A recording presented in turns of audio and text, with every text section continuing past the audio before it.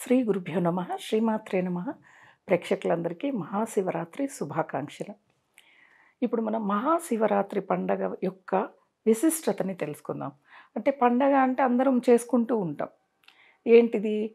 మా ఇప్పుడు మనకి ప్రతీ నెల మాస శివరాత్రి అనే వస్తుంది. ఏంది? కృష్ణపక్షంలో అమావాస్య ముందు రోజు వచ్చే చతుర్దశిని మాస శివరాత్రి అని చెప్పి మనం చెప్పుకుంటాం. కానీ మరి ప్రతి నెల కూడా కృష్ణపక్షంలో వచ్చే చతుర్దశిని మాస శివరాత్రి అంటాం. కానీ మాఘమాసంలో వచ్చే ఈ కృష్ణపక్షంలో వచ్చే శివరాత్రిని మాత్రం మహాశివరాత్రి అంటూ ఉన్నాం.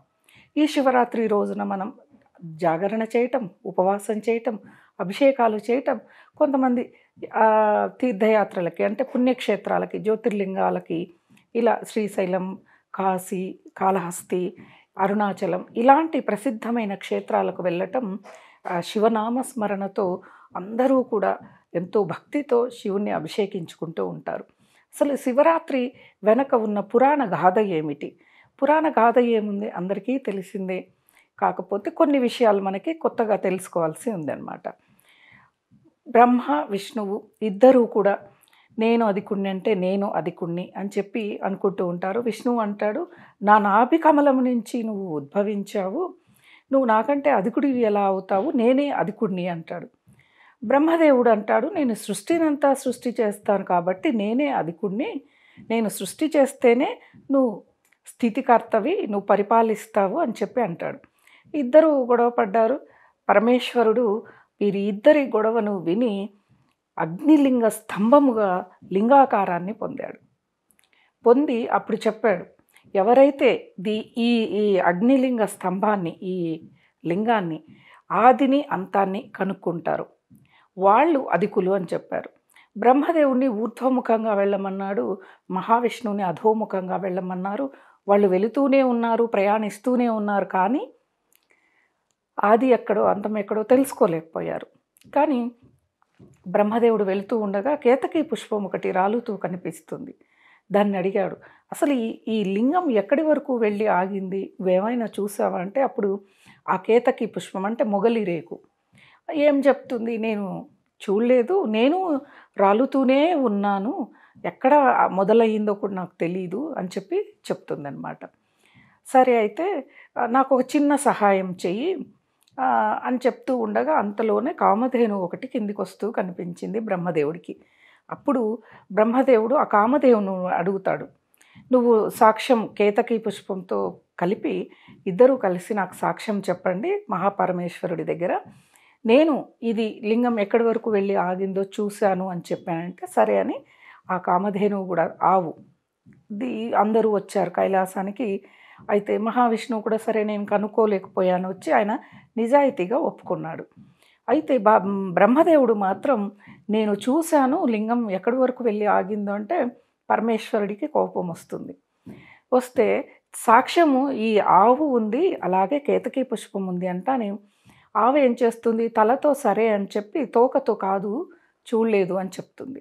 అలాగే మొగలి పువ్వు. మొగలి పువ్వు కూడా నేను చూశాను బ్రహ్మదేవుడు చూశాడు అని చెప్తుంది. అయితే అప్పుడు పరమేశ్వరుడు కదా విశ్వాన్ని సృష్టించినవాడు పరిపాలిస్తున్నవాడు అన్ని భువన భాండాలని మోస్తున్నవాడు ఆయనకు తెలియదా బ్రహ్మదేవుడు చూశాడో లేదో? అప్పుడు ఆయన కోపం వచ్చి ఆయన జటాజూటం నుంచి ఒక జటాన్ని తీసి కిందికేసి కొడితే అప్పుడు కాలభైరవుడు ఉగ్రరూపంలో ఉద్భవిస్తాడు. ఏ పంచముఖ బ్రహ్మ కదా ఏ ముఖం నుంచి ఈ వాక్కు వెలువడిందో ఆ ముఖాన్ని ఆ తలని ఆ శిరస్సుని ఆ కాలభైరవుడు దుంచివేయటం అంటే అంటే గోళ్ళతో గిల్లి వేయడం జరుగుతుంది. అప్పుడు చతుర్ముఖ బ్రహ్మగా మి- మిగిలిపోయాడు. కేతకీ పుష్పం భయపడిపోయింది కామధేను అంటే ఆవు భయపడిపోయింది. అప్పుడు కేతకీ పుష్పానికి పరమేశ్వరుడు శాపం ఇచ్చాడు ఏ పూజలోనూ నా పూజే కాదు ఏ పూజలోనూ కూడా నిన్ను వాడరు. వాడడం అంటే ఇప్పుడు రేకులు అంటున్నాం పువ్వు అనట్లే మొగలి పువ్వు అనటంలే మొగలి రేకులు అంటాం మనం. అని చెప్పి దానికి శాపం ఇచ్చాడు గోవుకు మాత్రం నీ నీవు వెనక తోకతో నిజం చెప్పావు తలతో అబద్ధం చెప్పావు కాబట్టి తోక భాగంలోనే అనక వెనక భాగమే అని మనం పూజిస్తాం చూడు ఎక్కువగా. కాబట్టి వెనకనే నిన్ను పూజిస్తారు నిన్ను ప్రార్థిస్తారు మొక్కుతారు అని చెప్పాడు. వా వాళ్ళు ఇద్దరూ వెళ్ళిపోయారు. అప్పుడు పరమేశ్వరుడు చెప్పాడు నిజం చెప్పినందుగా మహావిష్ణువుని నాతో పాటు సమానంగా అందరూ ఆరాధిస్తారు. బ్రహ్మదేవునికి ఆలయాలు ఉండవు ఆరాధనలు ఉండవు అని చెప్పి బ్రహ్మదేవుడికి మరొక శాపం ఇచ్చాడు పరమేశ్వరుడు. ఎవరు దారిన వాళ్ళు వెళ్ళారు. ఈ అగ్నిలింగము ఎప్పుడు ఉద్భవించింది అంటే ఈ కృష్ణపక్షం మాఘమాసం అర్ధరాత్రి సమయంలో ఉద్భవించింది కాబట్టి మనం జాగరణ అంటే ఉద్భవ కాలంలో మనం జాగరణ చేయాలి మేలుకోవాలి కదా. అభిషేకాలు చేయాలి పూజలు చేయాలి ఆ సమయంలో. అందుకే అర్ధరాత్రి పన్నెండు గంటలకి అభిషేకాలు చేస్తూ ఉంటారు జాగరణ చేసి. అలా చేసి ఎవరైతే పరమేశ్వరుని ప్రార్థిస్తారో ఆ పరమేశ్వరుడి యొక్క అనుగ్రహంతో మోక్షం లభిస్తుంది అంటారు. అలాగే ఈ కథని ఎవరైతే వింటారో వారందరికీ కూడా మోక్షం లభిస్తుంది. శివరో శివరాత్రి రోజున అందరూ కూడా శివనామ స్మరణతో మునిగిపోయి ఈ కథని వినటం వల్ల అనేక అనేక లాభాలు పొంది మరు జన్మ అనేది లేకుండా చేస్తాడు ఆ పరమేశ్వరుడు అనమాట దీని వెనక శివరాత్రి పూజ విధానం దాని వెనక ఆ కథలు ఉన్నాయి. ఎవరు ఏ పూజ చేశారు ఏ విధంగా వాళ్ళు కైలాసానికి వెళ్ళారు పరమేశ్వరుడు వాళ్ళని ఎందుకు కైలాసానికి రప్పించుకున్నాడనేది మనకి చాలా కథలుగా చెప్పబడింది అనమాట అంటే ఉపవాసం తప్పకుండా చేయాలా జాగరణ తప్పకుండా చేయాలంటే ఇప్పుడు మనకున్న కాలంలో ఆర్థిక పరిస్థితుల రీత్యా అందరూ ఉద్యోగాలు చేస్తున్నారు. పగలే కాదు నైట్ షిఫ్ట్లని జాబులు చేస్తున్నారు.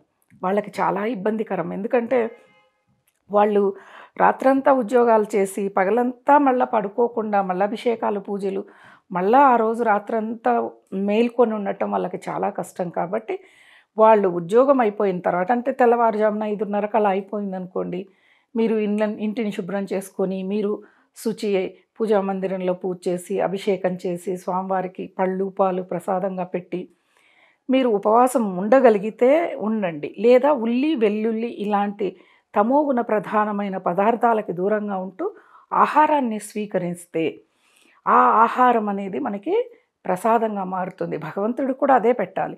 పెట్టి దాన్ని స్వీకరించి ఏం చేస్తారు? మళ్ళా రాత్రి శివరాత్రి జాగరణ చేయాలి కదా.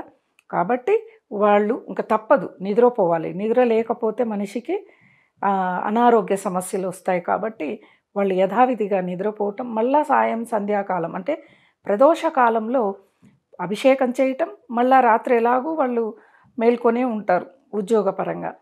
అలా జాగరణ కూడా అవుతుంది. ఆ సమయంలో ఈ కథని ఎవరైతే వింటారో వాళ్ళకి ఆ పరమేశ్వరుడి యొక్క అనుగ్రహం కటాక్షం అందరికీ ఉండాలని కోరుకుంటూ స్వస్తి.